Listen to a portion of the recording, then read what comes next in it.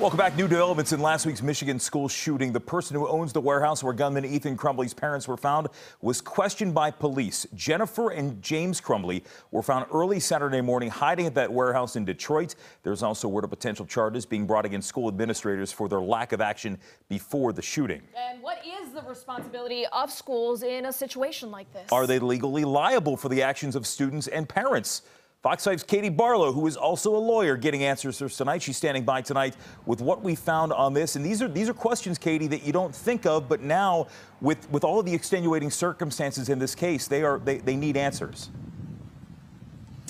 Given what we know now about what Oxford High School knew about the student who shot and killed four of his classmates and injured others, and when the school knew it, some people are asking whether schools should be held liable to victims and their families in the wake of tragedies like what happened in Michigan, or perhaps whether they could be charged criminally for failing to take care of the students in their care. And the answer is likely no schools are virtually immune from liability, uh, from civil liability.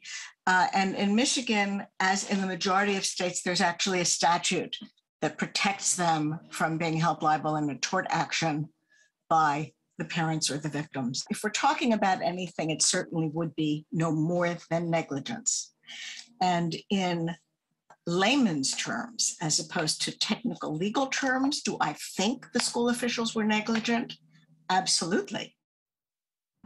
Fox 5 contacted several of our local school districts who were all hesitant, reasonably so, to comment on matters of student safety and security practices. One local school official in Montgomery County said there's no general rule of response when it comes to specific students. Specific measures are used. And this year, he said, in schools, students' behavior, especially online, has become more threatening than in previous years, certainly before the pandemic. And that's why he said they investigate thoroughly, involve the police when necessary, and work very hard to ensure student safety. Now, Professor Catherine Ross, who you just heard from there, emphasized that although she didn't think the school in Michigan did enough, that schools should be careful not to overreact. It's a common mistake, she said, that can sometimes cause more damage to the individual student and their future. It's, of course, a tough line for educators to walk. Back to you guys. Without question, because history repeats itself. Uh, Parkland in so many people's memories not that long ago. You go back all the way to Columbine. I mean, the cases, they go on and on.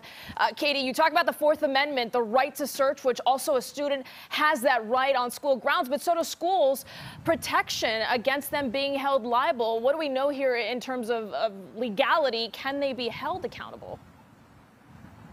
Well, schools are responsible for the safety and security of students when they're in their care. They are charged with the duty to take care and to be reasonably responsible. Now, that's not the same duty as parents, particularly in this case, as the parents have been charged at least with knowing that their child at least owned a weapon or was given a weapon by them. And so there was some conversation from the prosecutor uh, in, in that region in Michigan asking, um, you know, who, what did the parents know and perhaps should they have searched his backpack when they went to the school to visit with teachers? But we'll learn more in the coming days as the case unfolds. Yeah, the charges against those parents without question unprecedented, but probable cause nonetheless.